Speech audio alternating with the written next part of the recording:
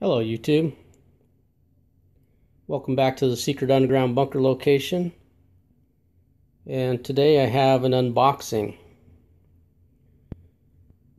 And what I'm unboxing is my new Dremel. I've had this Dremel for years. Uh, and it's been okay. Uh, I've used it for a lot of projects but it's battery powered and the battery keeps dying. Uh, I bought a new battery a couple times. They're about mm, 20 bucks or so.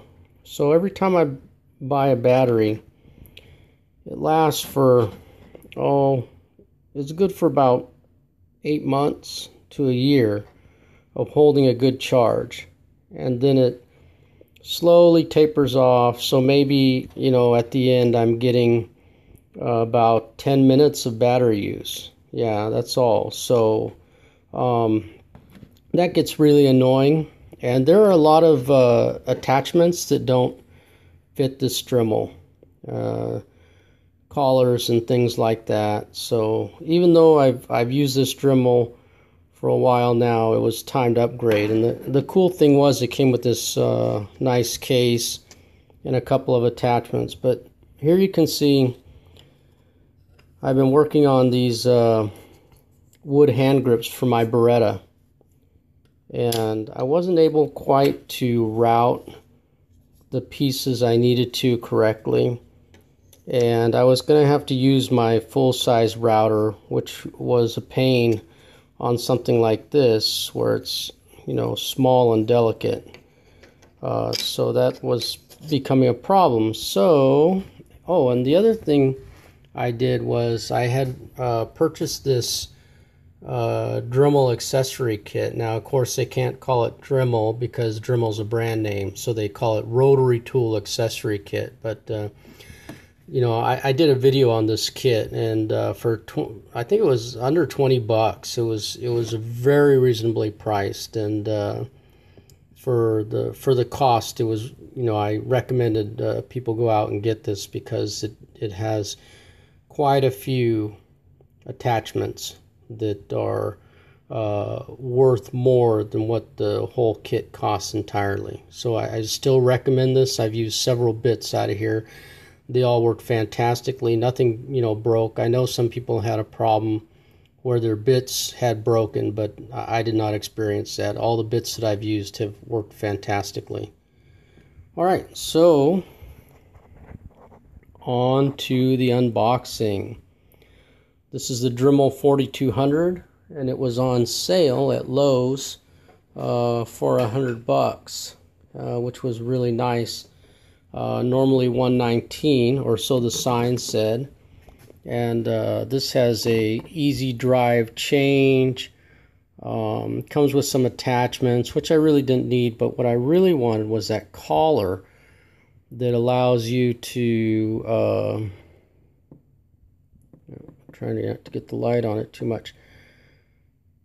That collar that allows you to do delicate work and scroll work. So I need that to be able to route out the pieces for the uh, hand grip and obviously for some other stuff around the house. Who knows? Uh, but I do a lot of precision work so here we go. And it comes with its own case obviously and there it is. It's got uh, multiple speeds. It's got a quick release. Uh, it's I haven't examined all the features but it's quite a got a, quite a few features. It came with uh, some a nice little box of uh, attachments and also,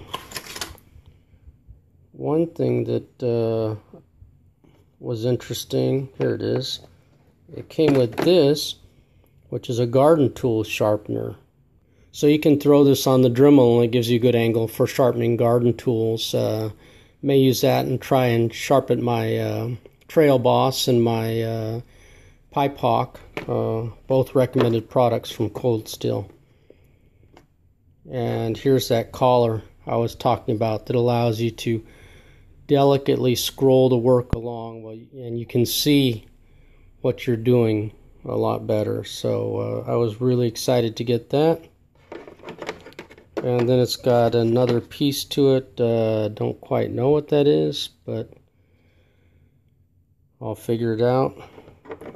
And then there's another piece that's a, a handle uh, that this didn't come with, so I may pick it up because it's a handle that allows you to um, manipulate it at a different angle. So uh, that may be good for some people. It also came with this shield, so if you're doing some cutting, uh, you can attach this shield.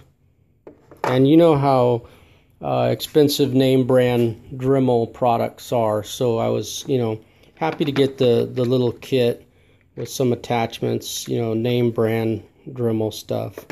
Uh, it is corded, um, but it's also smaller because it's corded. The other Dremel I was looking at was the 8220, I believe, and that was a cordless 12 volt, but the size was about 15% bigger than this one. So when you're trying to do those, you know, cuts with your hand, it's even this is pretty big but the other one was was obtrusively big. I mean, you you would have had to wrap your whole hand. You'd be ham fisting that work, and I don't need to do that. This is this is for precision work. So uh, that's my unboxing, and then hopefully now I can uh, get back on these Beretta grips and get them taken care of. So hope you're having a good weekend. It's Cav Trooper Munoz. I'm out.